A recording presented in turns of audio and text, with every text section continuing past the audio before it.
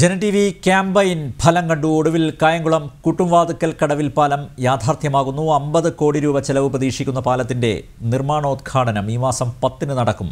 ജനം ക്യാമ്പയിന് നന്ദി പറഞ്ഞ് പൊതുമരാമത്ത് വകുപ്പ് മന്ത്രി ജി സുധാകരൻ. ഒരു നാടിന്റെ അഞ്ച് പതിറ്റാണ്ടിലേറെയായുള്ള കാത്തിരിപ്പിനാണ് ജനം ടി വി വാർത്തയെ തുടർന്ന് പൊതുമരാമത്ത് മന്ത്രി ജി സുധാകരൻ നടത്തിയ ഇടപെടലിലൂടെ ഫലമുണ്ടാകുന്നത്. കണ്ടല്ലൂർ ദേവികുളങ്ങര ആറാട്ടുപുഴ പഞ്ചായത്തുകളെ ബന്ധിപ്പിക്കുന്ന കൂട്ടുംവാതുക്കൽ കടവ് പാലത്തിനായുള്ള നാട്ടുകാരുടെ മുറവിളി ജനം ടി വി തുടർച്ചയായി ചെയ്ത വാർത്തകളിലൂടെയും തുടർന്ന് ജനം ടി വി കടവിന് സമീപം സംഘടിപ്പിച്ച ജനസഭയിലൂടെയുമാണ് അധികാരികളിലെത്തിയത്. ജനം ടി വി അതിനുവേണ്ടി വലിയ ക്യാമ്പയിൻ നടത്തിയാണ്. അത് ഞാൻ നന്ദിയോട് ഓർക്കുകയാണ്. അതൊരു ഒരു വലിയ നേട്ടമാണ്.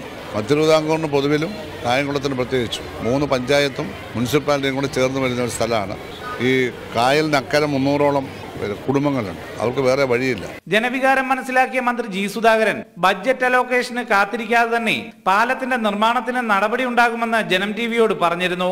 വാക്കുപാലിച്ച മന്ത്രി ഈ മാസം പത്തിന് പാലത്തിന്റെ നിർമ്മാണോദ്ഘാടനം നിർവഹിക്കും. അമ്പത് കോടി രൂപയാണ് പാലത്തിന്റെ നിർമ്മാണത്തിനും സ്ഥലം ഏറ്റെടുക്കുന്നതിനുമായി വകയിരുത്തിയിട്ടുള്ളത്. എ സി റോഡിന് വേണ്ടി വെച്ച മുന്നൂറ്റമ്പത് കോടിയാണ്. അപ്പോൾ ആ മുന്നൂറ്റമ്പതിൽ കുറച്ച് പാലങ്ങൾ പണിയാനൊക്കെ ഞാൻ പൈസ കൊടുത്തു. ഒരു നൂറ്റമ്പത് കോടി കൊടുത്തു. ബാക്കി ഇരുന്നതിൽ നിന്നാണ് അമ്പത് കോടി ഇതിന് അനുവദിച്ചു. നാൽപ്പത് കോടി പാലം പണിയാനും പത്ത് കോടിക്ക് അകത്ത് സ്ഥലം എടുക്കാൻ.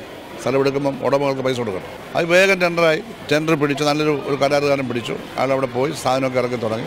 നമ്മുടെ ഈ പത്താം തീയതി വൈകിട്ട് നാല് മണിക്ക് നമ്മൾ ശിലാസ്ഥാനം പാലത്തിന്റെ നിർമ്മാണത്തോടെ യാത്രയ്ക്കായി കടത്തുവള്ളങ്ങളെ ആശ്രയിച്ചിരുന്ന മുന്നൂറിലധികം കുടുംബങ്ങൾക്ക് യാത്രാ സൗകര്യവും പ്രദേശത്തെ വിനോദസഞ്ചാര രംഗത്തെ വികസനവും സാധ്യമാകും.